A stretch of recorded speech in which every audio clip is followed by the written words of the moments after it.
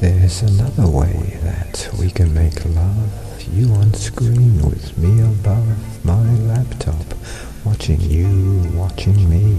On your screen too, fingers feeling what we feel, squeezing, rubbing, sex appeal, sensations building, with each touch, minds connecting, feeling much more than thinking, letting go, approaching climax, from below the space between us disappears in